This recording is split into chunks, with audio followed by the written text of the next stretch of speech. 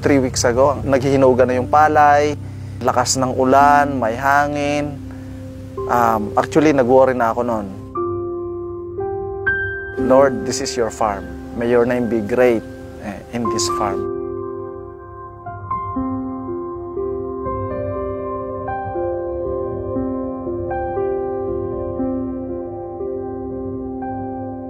Nung nag-umpisa tayo dito sa ministry ito, ay talagang burden natin yung pagkain ng mga missionaries, ng mga mangyans, Ah, lalo na ngayon na lumalawak na yung ating influence ah, sa kabundukan. Yung mga mangyan sa bundok ay magkikwento na pumunta kayo doon sa bahay ng balbase, ng taong may balbas, may pagkain doon.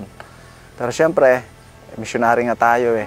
Kung sino man pumunta rito sa atin ay sana ay ano, um, mapaglingkuran natin. So, we prayed for a farm. So, Panginoon, bigyan niyo naman kami ng farm. Ang layo kasi nung, nung, nung sa kabilang baryo, yung original place ko. So, 15 kilometers from here. Eventually, uh, praise the Lord, meron na tayong farm sa malapit sa atin. At hindi ito alam ni Mama na ito ay talaga lumuluhod ako doon sa gitna. Sa tuwing bibisita ako doon, ay, Lord, this is your farm. May your name be great eh, in this farm. That the people around will see that there is God in your servant. So, sinasabi ko, um, talagang ang Diyos ay nagpakita ng kanyang kapangyarihan. Ah, imagine yung three weeks ago, hi- naghihinuga na yung palay, ah, ang lakas ng ulan, may hangin. Um, actually, nag-worry na ako noon. Pero tinuruan ako ng Panginoon na, ah, don't worry, kasi ah, ako ang tunay na may-ari ng farm na yan. Ang mga palay nila ay tumbahan na. And when I visited the farm, lo and behold, kita ko yung palay, ang farm ay nakatayo.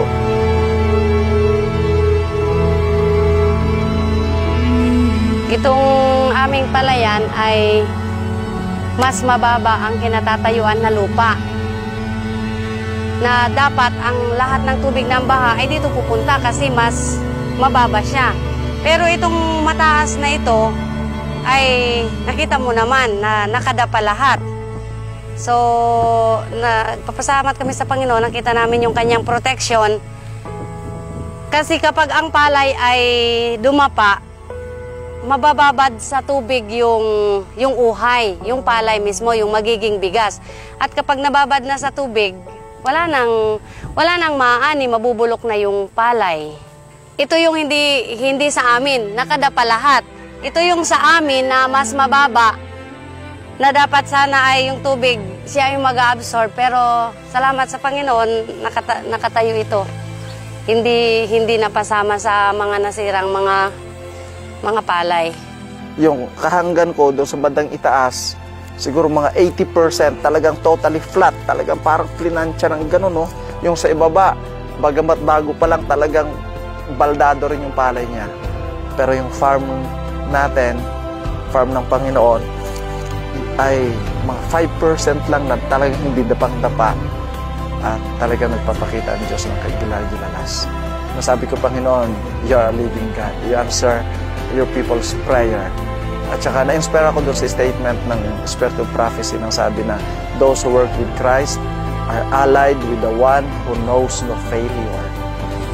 Ang ang pangyayaring ito ay kumbaga sa sabi namin mag-asawa, yung aming ani talaga ay hindi lang para sa aming pamilya kasi pina ni-spare ng Panginoon, pinoteksyonan niya para sa marami talaga siya, hindi lang para sa aming pamilya. Ay hindi tayo mag-aalala kung saan natin kukunin yung su- yung supply ng bigas para sa ating mga missionaries, sa ating mga estudyante at sa mga mangyan na pumupunta rito sa bahay na nais nating ma-influence for Jesus.